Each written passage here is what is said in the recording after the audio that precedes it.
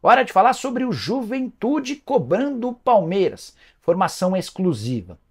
Só para lembrar que nos últimos dias houve muita polêmica quando o Palmeiras decidiu tirar do Corinthians o menino Lucas Flora, só 10 anos de idade, um craque do futsal, vai receber 200 mil reais de luvas, ajuda de custo de 15 mil reais por mês e será novo reforço ao Viverde para jogar no campo e no futsal. Pois bem, diante desse cenário, com uma repercussão muito grande da, da, retirada de um atleta do Corinthians para ir para o Palmeiras, recebi uma informação de que o Juventude, time da primeira divisão do futebol brasileiro, cobra o Palmeiras em relação à venda de um jogador chamado Cauã.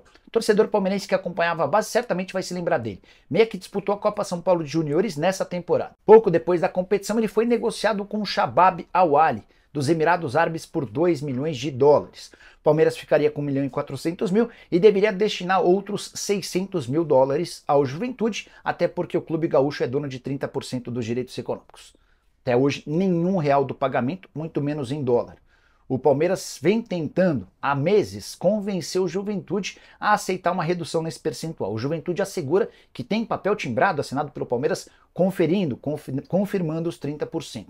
Mas a ideia do Palmeiras era pagar primeiro 10%, depois subiu para 15%, com desconto das comissões e dos impostos, enfim. Não houve acordo entre as partes. O Juventude vai aguardar mais uns dias e, se, não houver nenhum avanço, vai precisar procurar a Câmara Nacional de Resolução em Disputas. Só chama atenção o fato de o Palmeiras, que acaba de faturar um caminhão de dinheiro, serão mais ou menos 884 milhões de reais movimentados com as vendas do Hendrick, do Estevão e do Luiz Guilherme para três times do exterior, que o, Flamengo, que o Palmeiras esteja regulando 600 mil dólares de uma operação com o Juventude, que foi seu parceiro, cedendo o atleta. O Cauã foi, re, foi revelado no Juventude e se mudou para o Palmeiras com 13 anos de idade. Só para completar outra informação importante envolvendo o Verdão.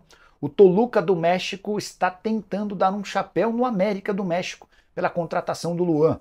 O Palmeiras já havia dito que só o venderia se houvesse pagamento da multa rescisória. O América sinalizou com o pagamento da multa, o Toluca também sinalizou com o pagamento e ofereceu mais dinheiro ao Luan. Sexta-feira deve ser importante para a gente saber como é que essa história termina.